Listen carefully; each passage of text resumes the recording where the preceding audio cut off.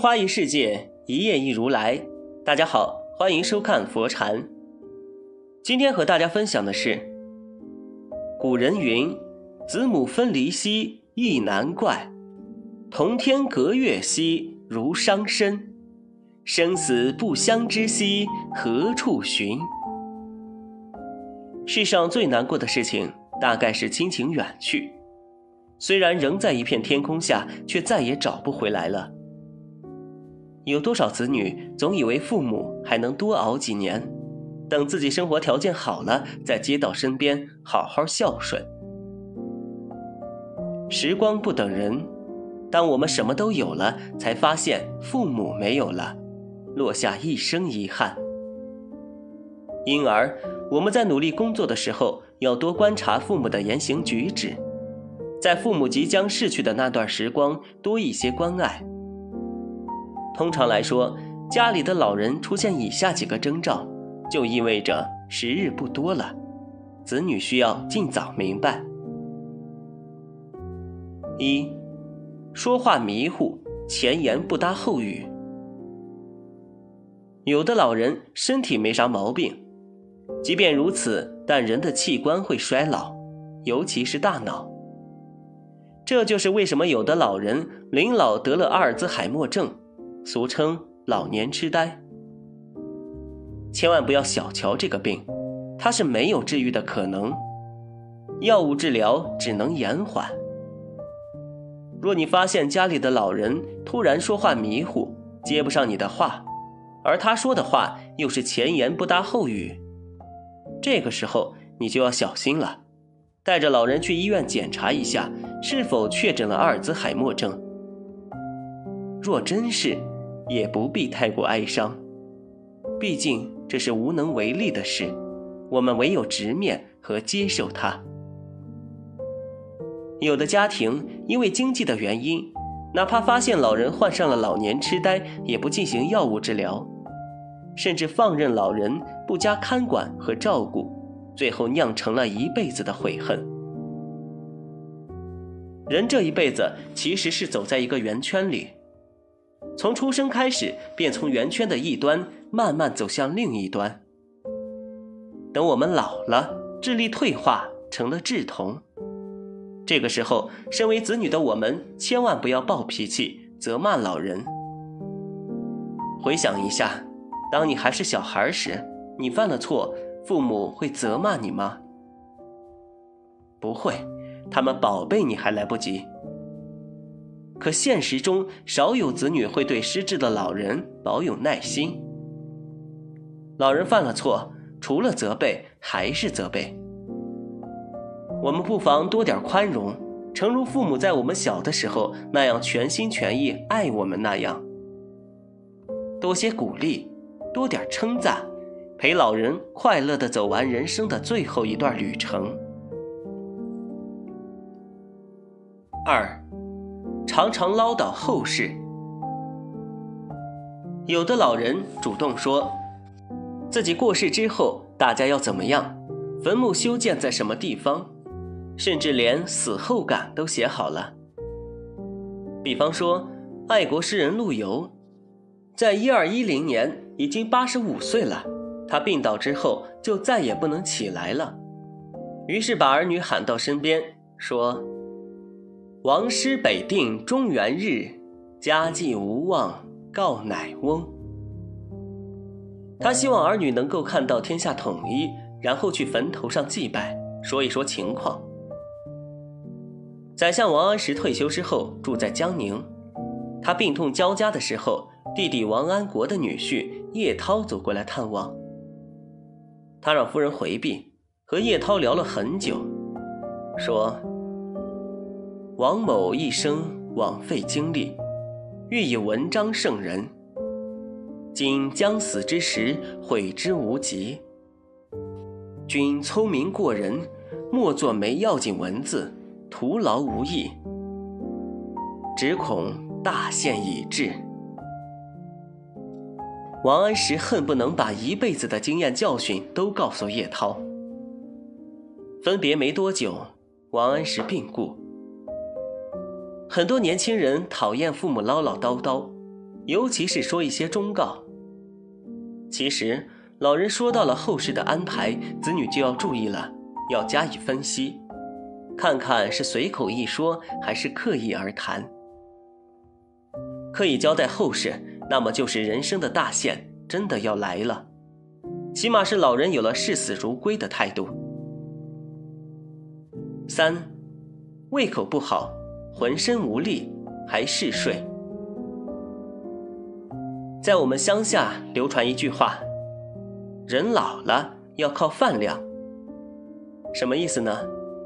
老人胃口好，饭量大，才能身体棒。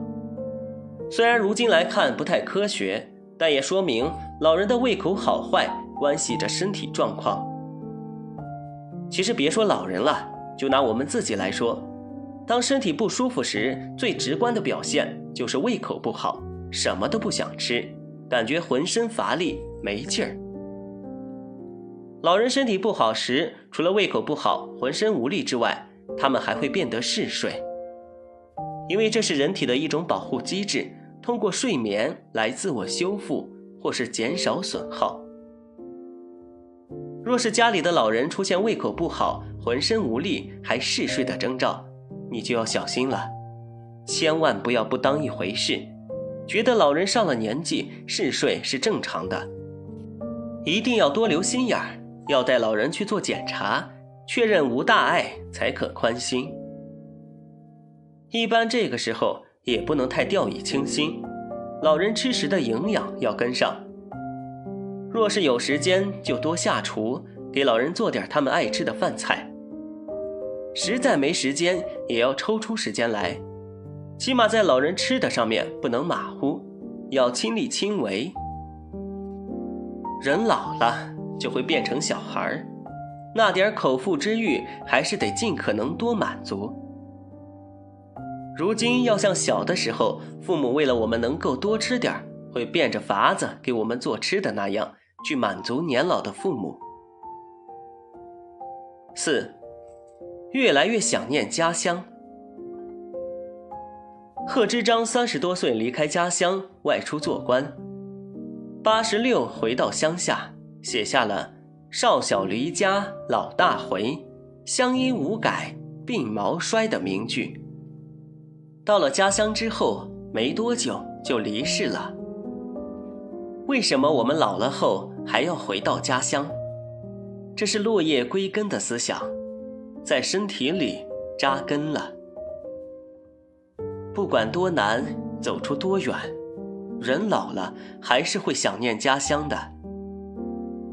一些远嫁的女人也会在迟暮之年回到老家看看，才心满意足。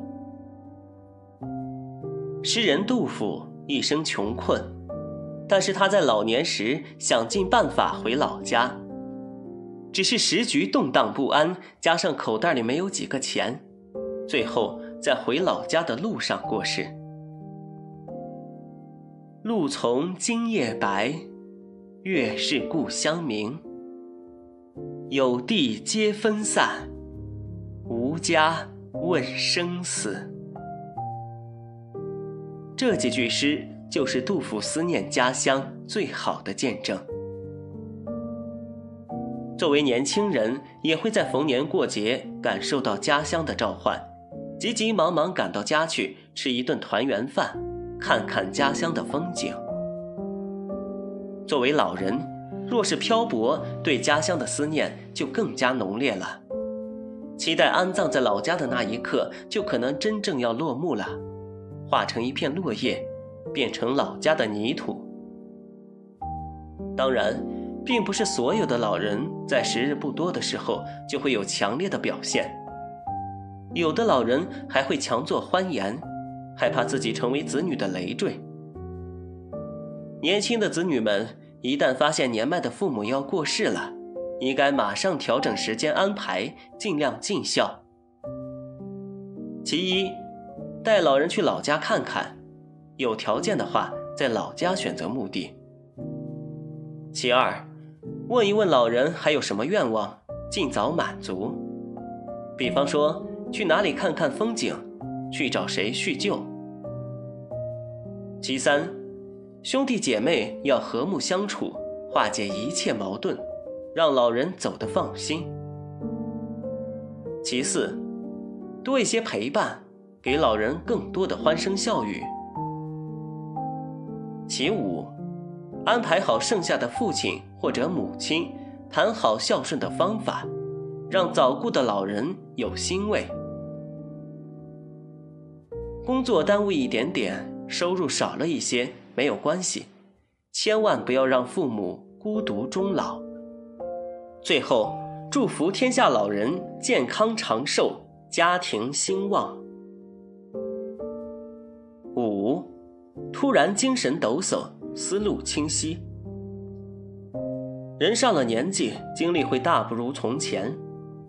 人的精力会在某个峰值之后一路下降，这就是为什么有的老人会给你一种有气无力之感了。其实也不难理解。为何有的老人会精神状态不佳？因为人的精力是有限的，被生活消磨，被病痛折磨，久而久之也就油尽灯枯了。这是人自然老去的一个过程。若是老人突然精神抖擞，思路清晰，这个时候你就要多加陪伴了，因为很可能是回光返照。要抓住陪伴老人的最后一点时光。我们常把工作挂在嘴边，却忘了家人才是最该花时间和心思去陪伴的。你不妨想想，人这一辈子奋斗到底为了啥？若是不能陪伴老人走完最后的一段时光，那即便是腰缠万贯，也是无法弥补的遗憾。老人自然老去，有一段回光返照的时间，已经是老天垂怜了。要知道，有很多老人都没交代好后事，就匆匆忙忙离开了。虽说人固有一死，或早或晚，但也得了无遗憾的走，才不枉来这人世间走一遭。人生最大的苦，莫过于生离死别了。即便在我们成长的过程中不断的经历，依旧没能从容应对。说到底，我们骨子里还是留有眷恋，不舍这花花世界。人因为有了牵绊，才会生出念想和奢望。